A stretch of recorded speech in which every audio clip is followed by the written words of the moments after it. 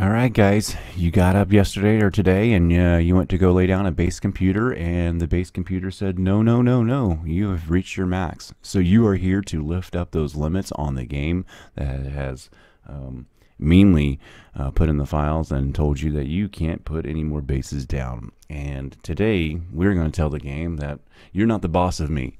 You know, I uh, got up this morning and I seen on Pandora's box on Facebook that there was somebody asking about how to do this within the save editor, and there was some, you know, miscommunications, and, and sometimes you just don't know what words to Google when you want to Google them. You know, I mean, if you don't know the terminology, how do you Google something? So you ask, and uh, you know, sometimes you don't get the right answer. I love crowdsourcing on on things that are on topics like this. So here is your solution right now. It is not within the save editor. The save editor does not go into this file system. Uh, before you go any further, you're going to need to go get Notepad++. Now, I'm not sure why it has to be Notepad++, but I was told that it has to be Notepad++ to do this. So I'm telling you to go get Notepad++. Maybe I'll put a link in the description and go get that and then come back to here. All right, so now that you're back here, we are going to go within our game file systems. And now I have mine on my shortcut uh, on the on the desktop here for my PC banks anyway. So I'm gonna have to go back into um, I think it's uh, game data.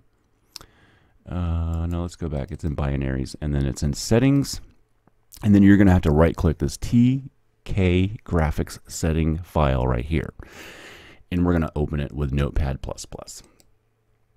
Now, there's a lot of cool stuff in here that you can change. You'll notice that the a lot of this is in your hard settings within the game.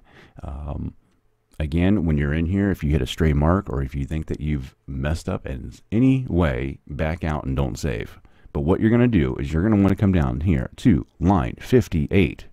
I repeat, line number 58 says remove base building restrictions. Value. Yours is going to say false. You're going to want to change it to true. This will remove all your base limit restrictions. There's a couple other things in here that are cool.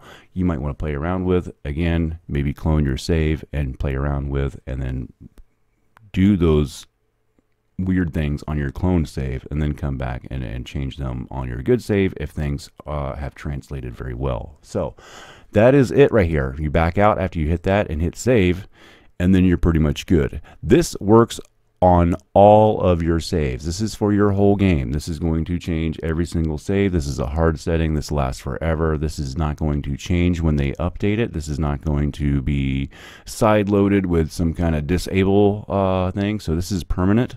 And if you ever want to change it back, you're going to have to go back in here and change it back. So that's it.